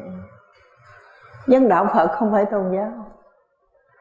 Nhưng người ta quý kính cái đạo phật như là một cái tôn giáo vì nó cũng có những cái đặc điểm như những cái tôn giáo khác vì cái khao khát của cái con người đó là cái niềm khao khát, nó có tính chất tôn giáo. Cho nên người ta đến với đạo phật người ta cũng đến bằng cái con đường tôn giáo, đúng chứ không sai. Nhưng mà nếu dừng lại cái chỗ này đó, thì nó chưa đủ để nói lên cái bản chất của đạo phật. Mà cái đạo phật nói thế này. Đạo phật nói nên làm thiện, không nên làm ác. Bởi vì thiện này nó có những cái nhân lành. Bởi vì bất thiện này nó có những cái nhân xấu. Khi mình gieo cái nhân xấu xuống mà khi gặp cái quả xấu. Xin lỗi, khi mình gieo cái nhân xấu xuống thì gặp quả xấu đây. Khi mình gieo cái nhân lành, gặp cái quả lành đây. Nhưng bây giờ mình lỡ gieo rồi. Những cái điều xấu ác này. Cho nên đó là mình bây giờ đó phải khổ sở, phải long đong, điêu đứng thì bây giờ mình làm sao thoát ra khỏi cái chỗ này? Thì đức phật dạy chúng ta tiếp tục gieo cái nhân lành. Và những cái cách thức thì chỉ rất là nhiều cách thức. Và cái đạo phật khác với tất cả những cái tôn giáo khác ở cái chỗ đó là đạo phật đó chỉ cho chúng ta đó thoát ra khỏi những cái đau khổ, những cái bất hạnh mà chúng ta đã lỡ gieo xuống những nhân bất thiện. Bây giờ làm sao để đi ra? Thì cái đạo phật là đưa người ta ra khỏi cái khổ, ra khỏi cái tâm tối, ra khỏi cái mà mình cứ mắc kẹn, cứ cứ mắc cạn, cứ lẫn quẩn lẫn quẩn trong đầu của mình. Những cái chuyện khó chịu mình cứ bị mắc kẹt đó hoài không có ra được, thì đạo phật dẫn cho chúng ta ra khỏi cái chỗ đó. Có cái cách thức rõ ràng. Và khi chúng ta học trong mỗi một cái, trong mỗi một cái bài pháp thì đức phật đều có hướng dẫn cho cách mà chúng ta thoát ra khỏi cái đó nên cái đạo phật là cái đạo thoát khổ. Còn gọi là cái đạo giải thoát. Đạo giải thoát cấp độ thứ nhất là khi chúng ta mắc cạn cái gì trong cái suy nghĩ của chúng ta. Mà chúng ta ra khỏi được nó là chúng ta thoát khổ. Và với những cái kinh nghiệm này, chúng ta tiếp tục cái con đường tiến hóa tâm linh của chúng ta, thì chúng ta được giải thoát. Đó những cái điểm khác nó nằm chỗ đó cái ờ, phần tiếp theo là cái phần mà đức phật tóm tắt lại. Ở đây này thanh niên con đường đưa đến đoạn thọ dẫn đến đoạn thọ con đường đưa đến trường thọ dẫn đến trường thọ con đường đưa, con đường đưa đến nhiều bệnh dẫn đến nhiều bệnh con đường đưa đưa đến ít bệnh dẫn đến ít bệnh con đường con đường đưa đến xấu sắc dẫn đến xấu sắc con đường đưa đến đẹp sắc dẫn đến đẹp sắc con đường đưa đến quyền thế nhỏ dẫn đến quyền thế nhỏ. Con đường đưa đến quyền thế lớn dẫn con, đưa đến quyền thế lớn dẫn đến quyền thế lớn. Con đường đưa đến tài sản nhỏ dẫn đến tài sản nhỏ. Con đường đưa đến tài sản lớn dẫn đến tài sản lớn. Con đường đưa đến gia đình hạ liệt dẫn đến gia đình hạ liệt. Con đường đưa đến gia đình cao quý dẫn đến gia đình cao quý con đường đưa đến trí tuệ yếu kém, dẫn đến trí tuệ yếu kém. Con đường đưa đến đầy đủ trí tuệ, dẫn đến đầy đủ trí tuệ. Ở đây chúng ta thấy cái điệp khúc nó lặp lại nè. Con đường này dẫn đến cái này, con đường này dẫn đến cái này, cứ thế. Tức là con đường thiện, thì cứ gieo những cái nhân lành này, thì nó cứ trổ hoài cái thiện con đường mà không đúng con đường sai con đường xấu ác trổ hoài những cái đau khổ kéo dài. Vì thế ông lặp lại. Như vậy có nghĩa là gì? Nhân nào quả ấy nhân nào quả ấy. Cái cách nói đó là nhân quả rất rõ ràng. Chúng ta gieo nhân gì chúng ta gặt quả đó. Muốn có quyền thế lớn thì chúng ta phải à, gieo cái hạnh nào à, mà quyền thế nhỏ hạnh nào. Muốn có trí tuệ sáng suốt thì chúng ta phải gieo cái gì? Trí văn trí tư trí tu thì chúng ta phải có cái sự rèn luyện thì chúng ta mới có được chứ không có ai cho chúng ta trí tuệ cả. Chúng ta cũng không trộm cắp mà có được. Chúng ta cũng không phải mưu mẹo mà có được cũng không phải mua bán mà có được. Bằng cấp thì có thể mua bán được. Có thể dùng quyền lực đó để mà có được, lương lẹo có được, làm giả có được, nhưng mà cái trí tuệ về tâm linh không làm được cái điều trí tuệ tâm linh thực chất nó đi vào con đường thiện thì nó mới có. Và con đường thiện nó đi nhiều cấp độ. Cái thiện ở dục giới đây, nó nằm trong cái trí phân và trí tư đây. Và khi nó đi vào sắc giới, vô sắc giới và siêu thế thì nó đi vào con đường của trí tu đi rõ ràng như thế. Đây này thanh niên các loài hữu tình là chủ nhân của nghiệp là thừa tự của nghiệp là thai tạng. Nghiệp là thai tạng là quyến thuộc nghiệp là điểm tựa nghiệp phân chia các loài hữu tình nghĩa là có liệt có ưu. À, có người đặt cái câu hỏi cho sư cô nè. Nghiệp là thai bào. Tại sao gọi là thai bào? Ở trong cái bài kinh này, ở đâu có nói thai bào. Trong bài kinh này nói thai tạng. Thai bào khác mà thai tạng khác. Cái người đàn bà mang thai hoặc con vật mang thai, thì cái đó là thai bào. Còn cái thai tạng này nó thuộc về tâm linh. Lần trước chúng ta, sư cô có giảng là trong thập nhị nhân duyên đó, thì nó có cái chữ hữu. Hữu này là nghiệp hữu. Cho nên nói nghiệp á, là thai tạng.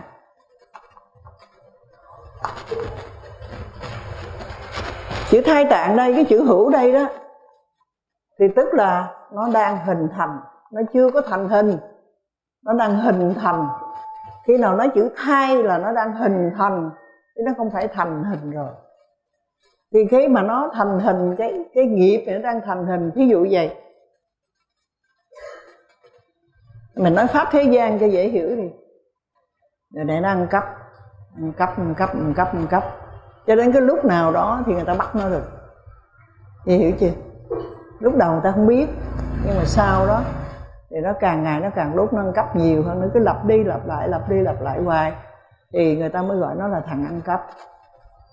Gọi nó là cái con ăn cắp. Rồi ta mới bắt ra rồi ta mới à, có một cái phạt gì hành chánh hay là hay là cảnh cáo hay là cái gì ở đại địa phương. Rồi nó cứ tiếp tục nó ăn cắp ăn cắp ăn cắp lớn qua, thì mới đưa nó vô tù, mới xử phạt, mới bồi thường nhân dân thì cái lần ăn cắp thứ nhất, lần ăn cắp thứ nhì, thứ ba, thứ tư, nó cứ lặp đi lặp đi, lặp lại. Thì nó gì hình thành đi, hình thành cái tội ăn cắp. Nó chưa có thành hình, nó đang hình thành. À nó đang hình thành. Rồi sau đó nó mới có cái biệt danh là cái người ăn cắp, cho nên cái hồi xưa đó những người ăn cắp ăn trộm, người ta khắc ở trên cái trán này. Để đi đâu là biết đó là cái thằng ăn cắp. Thì đó, cái nghiệp nó nó đã đang hình thành một cái tội lỗi. Thì khi mà chúng ta gieo xuống cái điều lành, thì cái hữu này đó, nó chứa nhiều điều lành. Mà nếu những cái điều xấu thì nó chứa nhiều điều xấu. Mà nó có cả hai thì nó hình thành cả hai. Thì cái đó nó gọi là cái thai tạng. Tức là tất cả những gì chúng ta gieo xuống bằng ý bằng khẩu bằng thân thì nó đang nhóm hợp lại những cái điều kiện đó để nó hình thành nên một cái kiếp sống mới. Thì nó gọi là thai tạng. Cho nên là à, chúng sanh đó là chủ nhân của nghiệp tức là tự mình gieo xuống. Làm điều tốt cũng do mình mà làm điều xấu cũng do mình. Trong sạch cũng do mình mà nhớ bận cũng do mình nhớ vậy tất cả mình đều quyết định ở đây. Hết chỗ của phân đoán này là do mình quyết định. Tốt cũng do mình, xấu cũng do mình, trong sạch cũng do mình quế nhiễm cũng do mình nó làm đây. Cho nên mình chủ nhân của cái mà mình gieo xuống trong cái đầu mình, trong cái lời nói, trong cái hành động. Mình là trực tiếp chủ động để gieo cái việc đó, để tạo tác ra nó. Mình chủ nhân. Mình tạo ra rồi, mình hưởng. Thì đó là mình người thừa kế thì khi mình tạo ra đây à, nó tích lũy trong hai cái dòng nghiệp nè để đến khi chết rồi đó thì khi mà nó bắt đầu nó tái sanh ở đây nè thì nó tái sanh đời sống mới thì tất cả những gì nó quy tụ về đây nè. Còn trong cái thời gian mà chúng ta còn sống đó, nó đang hình thành tức là nó là thai tạng. Chị hiểu không? Khi mình sanh ra rồi thì nó cái chỗ này là cái chỗ nó sanh nè thì tất cả những này nó hiện hữu nó có mặt thì mình phải thừa hưởng nó. Cho nên con người ta là chủ nhân. Tức là mình chủ động để tạo nghiệp trong ý, trong khẩu và trong cái ứng xử của mình. Rồi mình tạo xong rồi đó, chính mình là cái người phải thừa hưởng cái đó. Phải nhận nó chứ không ai hết.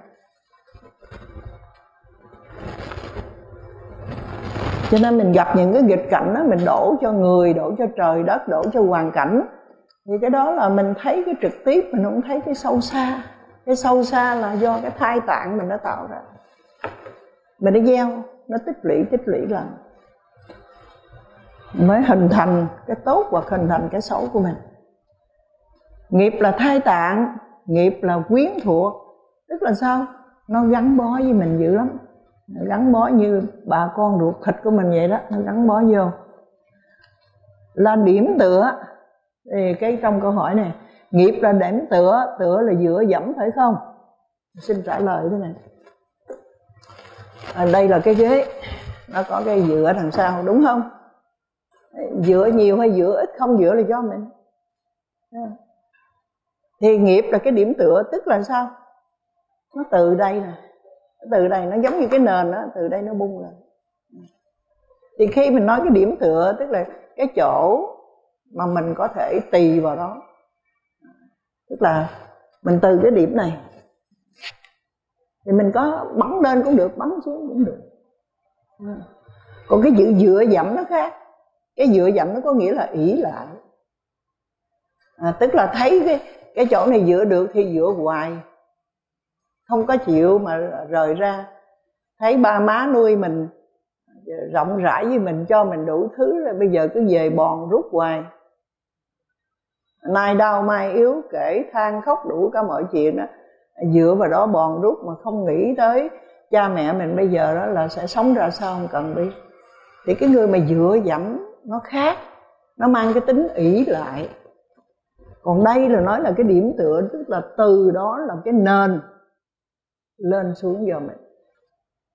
Mà cái nền này nè, nếu nó nó thiện đó, người mà sanh ra mà cái căn thiện nó nhiều đó tức là cái gốc thiện của người này mạnh đó thì thường trong cái đời sống đó cái khi người ta đụng chuyện đụng chuyện tức là các căn mà nó tiếp xúc với các cảnh đây là tiếp xúc với quả nó đó thì khi nó ứng xử chỗ này đó là nó ứng xử bằng cái pháp thiện của nó còn khi mà các căn tiếp xúc với các cảnh đó à, tức là nó đụng chuyện một cái là nhớ cái chỗ này nè à, những cái bất thiện sân hận của nó khởi lên yeah cái đụng chuyện, cái căn tánh mà lành á, thì nó sẽ khởi lên.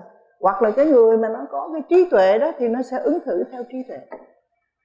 Còn cái người mà nó bị những cái pháp mà xấu này, nó chi phối mạnh quá thì nó ứng xử bằng cái này. Cho nên nó tự vào chỗ đó. Nó tựa vào đây căn lành nó tựa vào đây để nó ứng xử đây. Cái căn không lành nó tựa vào đây để ứng xử đây. Thì nó sẽ tạo nên những cái quả nghiệp mới nó đưa đến phái độ hoặc nó đưa đến tiếng lệ tức là vậy. Tùy theo cái tánh của mình mà mình ứng xử. Tánh nóng ứng xử theo nóng. Tánh hiền ứng xử theo hiền. Tánh dữ ứng xử theo dữ. Tánh cái người mà nó có cái phước báo à, nó sáng suốt thì nó ứng xử theo sáng suốt. Cái tánh người nó trì độn, nó u mê nó ứng xử theo trì độn u mê quý vị sẽ thấy rõ ràng nè. Một cái người ở trong nhà rất là đàng hoàng tử tế. Nhưng uống rượu say rồi là nó làm những cái chuyện không thể tưởng được. Thì vậy cái lúc mà nó à, là cái người đàng hoàng tử tế trong nhà bởi vì cái phát hiện đang có mặt nơi người này. Cái lúc nó uống rượu vô rồi đó thì nó si mà nó điên đảo cho nên nó làm những cái chuyện kinh khủng quá. Hoặc là một cái người cờ bạc người ma túy như vậy khi nó bị những cái tham dục này hoành hành nó rồi thì nó không ra gì cả. Hoặc là những người bị cái tà dâm nó hoành hành cũng vậy, nó không ra gì cả. À, cái quan hệ trong gia đình nó bừa bãi đi, thì cái lúc đó nó tâm tối mà. Nó cũng tựa vào nó, thấy không? Người tà dâm á, nó sẽ từ nơi cái tà dâm này nó mới làm chuyện tà dâm khác. Vì nó đã làm rồi một người tham lam, nó cũng dựa vào trong cái tham lam này, dựa trong cái dục này nó làm bậy. Còn người đàng hoàng tử tế, nó dựa vào cái đàng hoàng tử tế này. Cho nên nghiệp là điểm tựa. Từ cái điểm tựa đó, nó sẽ đưa lên hoặc nó đưa xuống. Tùy theo mình tựa vào pháp thiện hay tựa vào pháp bất thiện. Đó. và nghiệp phân chia các loài hữu tình, nghĩa là có ưu và có liệt nếu như chúng ta tạo nghiệp xấu, thì chúng ta đó đi vào con đường thấp hèn. Chúng ta tạo nghiệp tốt, thì chúng ta sẽ đi vào cái con đường cao quý. Mà nhớ nhá nghiệp tốt chúng ta có từ trong cái dục giới là chúng ta rèn luyện cái trí văn, trí tư. Chúng ta làm giữ giới, hành giới. Đi đến cái chỗ là tu thiền sắc giới, thiền vô sắc giới. Và chúng ta tu thiền tứ niệm xứ để đi con đường của tri tu ra bây giờ đoạn cuối đây. Khi nghe nói vậy, thanh niên xuất phát, tôi đi giáp vút tá, nói với đức thế tôn, thật vi diệu thai, thưa tôn giả Gotama. Thật khi hữu thai, thưa tôn giả Gotama. Như người dựng đứng, chấm chấm có thể thấy sắc. Cũng vậy, chánh pháp đã được thế tôn dùng nhiều phương tiện trình bày nay con xin quy y tôn giả Gotama quy y pháp, quy y chúng tỳ kheo. Mong tôn giả Gotama nhận con làm đệ tử từ nay cho đến mạng chung. Con trọn đời quy ngưỡng. Cái đoạn mà ngay chỗ là cái vị này đó là coi như là tán thán thật vi diệu thai, thưa tôn giả Gotama thật khi hữu thai, thưa tôn giả Gotama như người dựng đứng thì nguyên câu nó là như thế này. À, trong cái bài kinh gọi là bài kinh uh, Lohi Chat bài kinh số 12 trường bộ đó thì trong cái trang cuối của bài kinh này đó là nó có cái đoạn mà nó ghi đầy đủ cái cái phần mà chúng ta đang thấy chấm chấm đây. Cái đoạn đó như thế này. Tôn giả Gotama như người dựng đứng lại những gì bị quăng ngã xuống phơi bày ra những gì bị che kín chỉ đường cho kẻ bị lạc hướng, đem đèn sáng vào trong bóng tối, để những ai có mắt có thể thấy sắc, vân vân. Cũng vậy, chánh pháp đã được đức thế tôn dùng nhiều phương tiện để trình bày. Nguyên cái câu đó là như vậy. Thì như vậy đó, cái vị này tán thán mới nói rằng là những gì mà đức phật chỉ bày ra đó là như tất cả gì người ta bỏ ngổn ngang đó nó nằm ngổn ngang nó không có biết cái gì rồi cái gì đó. Thì bây giờ chính đức thế tôn là người dựng lên để cho mọi người thấy rõ cái nào nó ra cái đó. Cái thứ hai là phơi bày ra những gì bị che kín tức là có những cái pháp ẩn tàng ở bên trong. À, thí dụ như bây giờ mình khổ mình chỉ à, biết là bây giờ đó là coi như là do cái người này là chửi à, mắng mình hoặc do người này trộm cắp tài sản mình do người này nhục mạ mình khổ mình chỉ biết như vậy thôi. Mình không biết những cái pháp sâu kín bên bên trong. Đó chính là những cái gì mà chúng ta đã gieo xuống tức là nghiệp chúng ta gieo xuống. Và cái ngày hôm nay cái ngày hôm nay là cái ngày chúng ta thừa hưởng cái quả nghiệp đó mà chúng ta không biết. Chúng ta không thấy là chúng ta đã gieo trồng mình có nói rằng, trời ơi, tôi có chọc ghẹo nó đâu. Tôi từ nhỏ tới lớn chưa biết tham lam ai đồng bạc nào hết á, mà cũng chưa có hề mở miệng chửi mắng ai hết á. Mà tôi đối xử với lại anh em gia tộc, tôi bạn bè tôi tôi rất là đàng hoàng, tử tế, tôi không có một cái gì bậy bạ, mà tại sao tôi lại gặp cái người này? Vì thấy chưa? Bởi vì mình không thấy cái cái sâu kín, cái ẩn tàng ở bên trong đó là chúng ta đã gieo xuống và ngày nay đó là chúng ta là cái người thừa hưởng những cái tốt cũng như những cái xấu của mình. Những cái xấu là bị thừa hưởng, những cái tốt là được thừa hưởng. Chúng ta chỉ chấp nhận cái được thừa hưởng mà cái bị thừa hưởng chúng ta nhìn ra. Rồi chúng ta sai ở cái chỗ là chúng ta cứ quy kết tại hoàn cảnh, tại cái người đó tại ba má tôi tại bạn bè tôi tại chồng tại vợ tôi. Mình chỉ thấy cái nó đang hiện ra mà không thấy cái ẩn tàng sâu kín ở bên trong. Cho nên người này mới nói rằng là à, đức à, ngài tôn giả Gautama đã phơi bày những gì bị che kín. Để cho người ta thấy rõ. Chỉ đường cho kẻ lạc hướng đem đèn sáng vào trong bóng tối để những ai có mắt có thể thấy sắc được cái chỗ này chúng ta nhớ cái lúc mà đức phật thành đạo đó là đức phật là à, coi như là à, đứng ở cái tuần lễ thứ tư đứng ở một cái vị trí để mà hoàn thành hết cái bộ di diệu pháp. Thì cái lúc đó là cái trí tuệ ở cái hào quang của đức thế tôn đó là nó tỏa sáng rực rỡ hơn bao giờ hết. Bởi vì lúc đó là đức thế tôn vận dụng hết tất cả cái trí tuệ vận dụng cái trí tuệ của một đấng toàn giác đó để mà hoàn thành hết cả một cái hệ thống kinh điển đó mà cái cốt lõi nó nằm trong cái di diệu pháp cho nên nó tỏa sáng ra hết lúc đó. Thì cái cái cái cái cái khi đó xong xuôi rồi thì sau bảy tuần lễ đó rồi đó, thì đức phật nghĩ rằng là không có thể nào đem cái giáo pháp này ra để mà giảng dạy hết. Bởi vì chúng sanh nó không cõi dục đó thì chỉ thích thọ hưởng cái dục lạc thôi còn phần lớn đó là coi như là không có nhận ra được cái điều này. Thì những cái vị chư thiên mới đến lãnh lễ.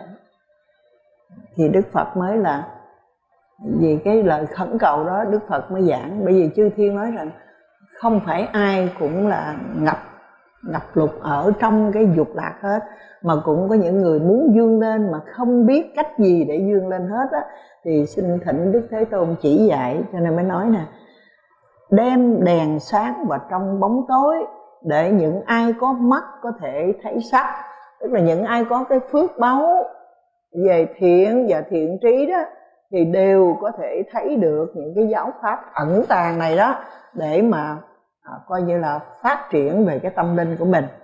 Cũng vậy chánh pháp đã được thế tôn dùng nhiều phương tiện để trình bày.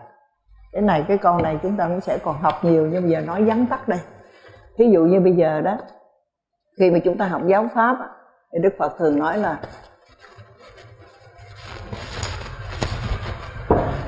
sáu căn đây và sáu cảnh đây. Nội cái chữ sáu căn đây á, thì mình sẽ thấy rằng ở đây không có nam mà cũng không có nữ.